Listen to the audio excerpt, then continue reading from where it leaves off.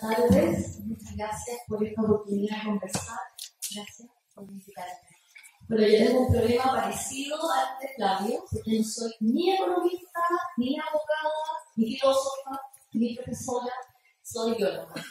Pero además, peor, porque me dejaron final. Y ya yo creo que lo que hemos escuchado aquí abarca el problema del, del modelo de desarrollo en, en muchos aspectos muy completos. Entonces, ¿qué puedo agregar? Eh, yo quisiera partir haciendo una pequeña reflexión del momento en el que estamos, porque creo que el modelo de desarrollo no es abstracto, está plasmado en la Constitución. La Constitución que nos está gobernando, entonces el debate de una nueva Constitución es fundamental para que podamos recoger, que podamos avanzar y podamos eh, cambiar del modelo neoliberal en el que estamos. Y quiero referirme al momento preestallido, cuando nos encontrábamos, al parecer, esto por la lectura de la, prensa y de las declaraciones de, Piñera, por ejemplo, de casi todos los políticos, en una especie de nirvana del neoliberalismo en, el oasis, en, como algunos eh, intelectuales han llamado el fin de la historia, ya alcanzando un estado donde nada se podía cambiar. Todo estaba funcionando desde la perspectiva de ellos de una manera aceptada, articulada, todos los engranajes perfectos, subiendo el Producto Interno Bruto, un ejemplo mundial, y para eso y de un día para otro, miren cómo estamos, ¿cierto? Entonces, ¿qué, ¿qué pasa ahí más allá de todo lo que se ha dicho de interpretaciones realmente absurdas, burlescas o miopes o ciegas, por ejemplo? Yo creo que nos encontramos con el techo del neoliberalismo, con una, con un, más que con un nirvana, con un giro que se le fue en contra y lo voy a poner en términos del individualismo. Ese, ese paraíso, ese nirvana del neoliberalismo, en donde se ufanaban algunos y, otros lo veíamos con horror, ¿cierto? Como la población, la ciudadanía estaba en esa cultura del mall, en una cosa nihilista, eh, preocupada de sí mismo, con poco interés social, al parecer, así se nos decía, ¿cierto? Pero resulta que a la par de eso, la ciudadanía, los trabajadores y trabajadoras, estaban por un lado siendo sobreexplotados, pero por otro poniendo en ejercicio su solidaridad. Porque en cada barrio, en cada grupo, en cada comunidad, las personas que son dignas y que no son miserables se están haciendo cargo de los enfermos, haciendo rifas o ayudando con colecta para atender a sus enfermos. Por otro lado, eh, todos los trabajadores y trabajadoras chilenos se hacen cargo de sus padres, de sus abuelos, de sus tías y tíos, de sus vecinas, cuando son viejos. No los dejan morirse de hambre, siendo que las pensiones son miserables. Entonces, nuestros trabajadores mayores, cuando ya jubilan, quedan abandonados por el modelo neoliberal. Sin embargo, los trabajadores y trabajadoras activos sí se hacen cargo de no dejarlos en la, en la calle, en la miseria. Les dan el plato de comida, los acogen, tanto de la salud de los enfermos y enfermos como en la alimentación y dignidad de los mayores no dejamos abandonados a nuestros niños, ¿cierto? Sin educación. También nos hacemos cargo de solidariamente permitir que nuestros jóvenes se eduquen.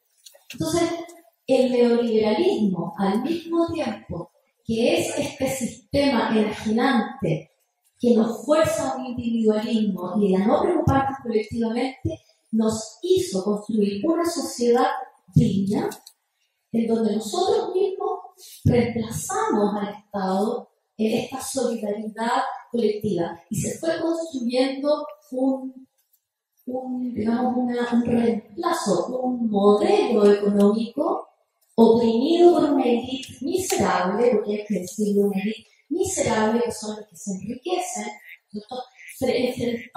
una élite enfrentada al pueblo chileno que se ha comportado dignamente. Entonces, cuando estalla el, el, el movimiento que está en alza en este momento, por la dignidad, lo que ocurrió fue una salida a la escena pública de algo que ya estaba ocurriendo.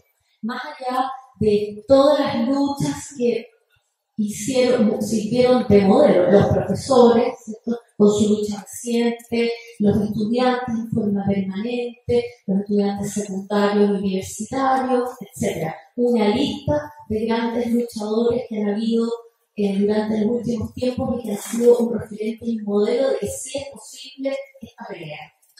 Entonces, lo que pasa ahora es que aflora, aflora una manera de construir una sociedad que tiene que ser reconocida y que puja por instalarse en el centro. Y lo que, con lo que se choca es con el modelo neoliberal que sobreexplora a todos los trabajadores y trabajadoras. Las riquezas, ya lo hemos dicho, van a parar a unos pocos. El sistema productivo es un sistema que no está destinado a los trabajadores, no está destinado al pueblo de Chile, ni a sus riquezas, ni a su esquema productivo. Y eso está consagrado en la Constitución. La Constitución que tenemos hoy, más allá de todo el articulado que hay que revisar eh, desde todas las perspectivas, esta Constitución no tiene instalado al sujeto, no tiene instalado al pueblo como sujeto. No tenemos el poder constituyente presente, no aparece en ninguna parte de la Constitución. No tenemos la posibilidad de llamar a cuando haga falta. Por ejemplo, es una cosa muy concreta, ¿cierto? sino que está posibilitando este modelo extractivista que por lo demás no requiere, como muy bien aquí se ha dicho ya en varias ocasiones, no requiere educación, no requiere que el pueblo esté capacitado, no requiere que tengamos capacidades técnicas, eh, teóricas, productivas, sino que nos quiere como una masa ya no ciudadana, sino que como una masa ya ni siquiera consumidora, sino que como una masa de deudores. Porque eso es lo que somos, uno, una especie de, de entes a los que se nos extrae una parte del salario considerable para las AFP que no dan pensiones, para las ISAPRE que no dan salud, para la educación que en buena parte eh, a los jóvenes. Tenemos un eh, problema en educación que no ha sido solucionado y no hay el interés de parte de élite de solucionarlo porque no necesita que seamos un pueblo educado, porque no necesita que seamos un pueblo productivo, sino que el mayor, eh, la mayor fuerza laboral en Chile es el retail. Uno, uno tendría que nada más ir a ver ese dato para entender cómo es la matriz productiva y laboral actual bajo esta constitución. Entonces, es inseparable el modelo de desarrollo de la nueva constitución, es inseparable de analizar el conflicto social en el que estamos. Yo quiero agregar que me parece que eh, las demandas feministas en este momento tampoco son marginales, no son un problema más en una lista de problemas, sino que las demandas feministas pusieron en el centro de la discusión y en el centro del sentido común ciudadano el concepto de dignidad y el concepto de terminar con los abusos. Quiero recordar que el año pasado tuvimos una multitudinaria marcha que fue considerada anecdótica, anecdótica, a pesar de que convocó a un millón de personas, pero poner eh, el acento en terminar con los abusos contra las mujeres es fundamental para poner el centro en terminar con todos los abusos del neoliberalismo, con todos estos abusos que aquí se han eh, descrito y que tienen que ver con nuestro modelo neoliberal, con nuestro modelo de desarrollo, con nuestro modelo productivo y con nuestra constitución. porque hemos permitido que se abuse de los enfermos, de los jubilados y las jubiladas, de los trabajadores y trabajadoras, de los niños y niñas, por parte de la Iglesia y de muchos otros. Con la represión estamos nuevamente en abusos a los derechos humanos y contra las mujeres, que digamos que se nos dice, bueno, ahora cambian las reglas del juego, ahora no se puede usar. Nunca se ha podido usar, nunca ha sido aceptable usar. Entonces, las luchas feministas ponen ese eh, problema del abuso en el centro de la sociedad y del debate como algo inaceptable y es ese conjunto de cosas, esa majamada de problemas que tenemos que nos llevan a este momento. Entonces, no hay que perder de vista que esta nueva constitución tiene que poner al centro a la ciudadanía, al pueblo chileno, en su matriz productiva, en su matriz de derechos también, en todo su articulado, y es por eso que decimos que va a ser una nueva constitución feminista, más allá de que no esté eh, como sea escrita en una clave feminista. Es inevitable que al terminar con los abusos estemos hablando feministamente, como se ha dicho. Y eso es algo que lo tenemos que lograr en estos meses que van a ser de lucha cada vez más ardua.